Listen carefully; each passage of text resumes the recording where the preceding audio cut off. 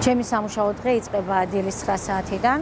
ვემზადები სამუშაოზე მოსასვლელად და თავისთავად ჩვეულებრივად რუტინულად ჩართული ვარ პაციენტებთან სამსახურში. რა თქმა უნდა, ეხლა პანდემიის პირობებიდან გამომდინარე, სამუშაო დღე ცოტათი უფრო დაიტვირთა, იმიტომ რომ აქ არის უკვე გამიჯნა ორი მიმართულებით ამბულატორიული მომსახურების თვალსაზრისით, ერთი ის პაციენტები, რომლებიც ყოველდღიურად მოდიან ქრონიკული დაავადებების მართვისთვის ან სხვა პანდემიის გარეშე არსებული დაავადებების მართვის საქმე საკითხთან დაკავშირებით. აქამდეც ქრონიკული პაციენტების მართვა, როგორც ოჯახის ექიმების, ისედაც ანაზღაურებადი იყო, თუმცა პირველი თებერვლიდან ახალი პროგრამა, რომელიც ონლაინ პაციენტების მართვას ეხება, ესეც დამატებით ანაზღაურებადია. თუმცა მინდა გითხრათ, რომ COVID სასტუმროებში მუშაობის დროს ძალიან კარგი იყო ანაზღაურება. პირველი ნაბიჯი აჭარაში კოვიდის მართვის სფეროში იყო საკარანტინო სივრცეების შექმნა. შესაბამისად ამ მომენტში ჩართული ვიყავი, ეს იყო ლოკდაუნის პერიოდები. პირველივე დღეებიდან სირთულე ის იყო, რომ პაციენტებში იყო ძალიან დიდი პანიკა და შიში.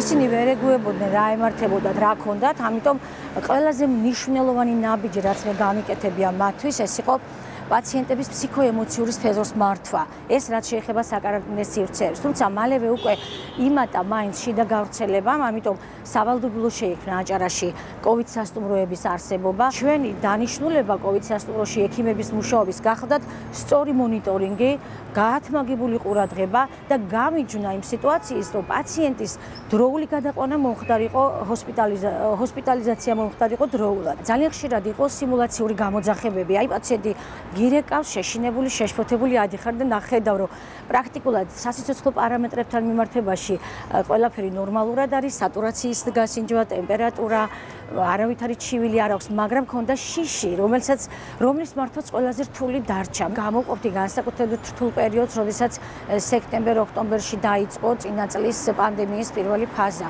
ამ შემთხვევაში COVID სასტუმროები იყო ძალიან დატვირთული, მაშინ იყო ყველაზე მეტი მომართვიანობა, ყველაზე დიდი დაძაბულობა ეს 112-ში უნდა დაკავშირებულიყავი ამ შემთხვევაში არ უნდა დაგვიანებულიყო პაციენტის გადაყვანა ქონდა შესვენების საშუალება მით უმეტეს იყო კვებაც გამოყოფილი დასვენების საშუალება. აბსოლუტურად ვიყავით მობილიზებული. დღეს მდგომარეობით ჩემი მდგომარეობა ვითარება არის ასეთი მოვდივარ პოლიკლინიკაში. პაციენტების წინასწარაც წინასწარ მირეკავენ და მეთანხმდებიან შეხვედრებზე იმიტომ რომ იციან მათაც ჩემი დაძაბვის რეჟიმი შესაბამისად ჩემი საქმე რომ უფრო ეფექტურად გავაკეთო, ამისთვის სახშიც მიწევს დამატებით მუშაობა, იმიტომ რომ მეორე დღისთვის უკვე ვიყო მომზადებული. აი უკვე არ ვიცი დილით ვინ დამხვდება და ვის რა პრობლემა აქვს, ამათაც თავისთავად საქმეს კონსულტირებას ვუწევ და შემდგომში უკვე გადავდივარ ონლაინ რეჟიმში, სადაც მაქვს სპეციალური რვეული შექმნილი ჩემი საკუთარი გეგმით, როდის უნდა გავაკეთო კვლევა, რამდენჯერ უნდა დაურეკო პაციენტს, რომელი პაციენტია საყურადღებო, რომ უფრო არ გამომრჩეს და იგივე პრინციპია, პრინციპში ახლა ოჯახში მონიტორინგი, ბინაზე მონიტორინგის პრინციპიც გახლავთ სწორედ ის, რომ ჩვენ სწორად მოვახდინოთ გამიჯნა პაციენტის, რომ არ მოხდეს დაგვიანება ჰოსპიტალიზაციის ან არ მოხდეს ბინაზე გარდაცვალება და არ დარჩეს პაციენტი უყურადღებოდ. სრული ეკიპირების ნაწილში ეს იქნება ეს იყო ბახილი, ერთჯერადი ხალათი, სამედიცინო ჩაჩი, პირბადეები,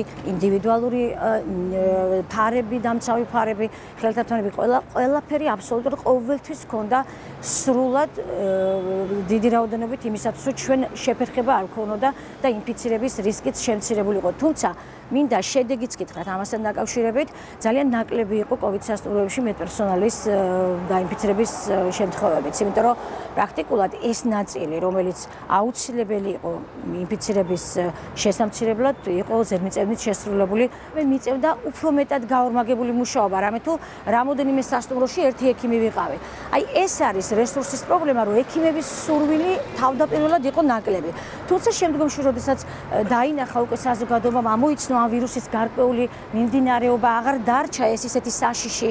აქედან გამომდინარე უკვე სხვა ექიმებიც დაგვემატა, გაფართოვდა ექიმთა სურვილთა არეალი და აი ამ მომენტმა უკვე შრომითი რესურსის მოთხოვნის თვალსაზრისით დეფიციტიც მოხსნა. რაც შეეხება ომიკრონს, ეს ბოლო შტამი გახლავთ ომიკრონი, ძირითადად ომიკრონი წავიდა როგორც წავე რესპირატორული ინფექციის სიმპტომები, ეს არის სურდო, ცხვირიდან გამონადენი, ყელის ტკივილი, მშრალი ხველა, უხშირესად პაციენტებში იყო გამოხატული ასევე თავის ტკივილები, ცხელება, წელის ტკივილი, ესეთი ერთ-ერთი დამატებითი ახალი სიმპტომი იყო ომიკრონთან დაკავშირებით. ძალიან ბევრი უყურებს ამ შტამსაც მარტივად. არა მარტო ის, რომ მარტივად უყურებენ რეგულაციების საჭიროებაც თავიანთ თავში მათ თვითონ მოუხსნეს საკუთარ თავს.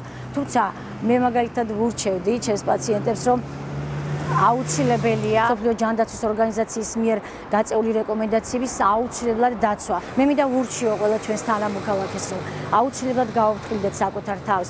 თავიანთი წილი ვალდებულება აუცილებლად უნდა შეასრულონ. ეს არის პირბადი სტარება, სისუფთა ჰიგიენის დაცვა, ანტისეპტიკური ხსნარების გამოყენება, ხშირი განიავება დახურულ სივრცეებში, დისტანციის დაცვა მნიშვნელოვანი ფაქტორებია და მინდა არ შეიძლება არ გამოყო ერთი უმნიშვნელოვანესი ფაქტორი. მე მიუხედავად იმისა, რომ დატვირთულ რეჟიმში ვარ, ძალიან ხშირად ვადევნებ თვალყურს საზოგადოების ნაწილი რას ფიქრობს ვაქცინაციაზე.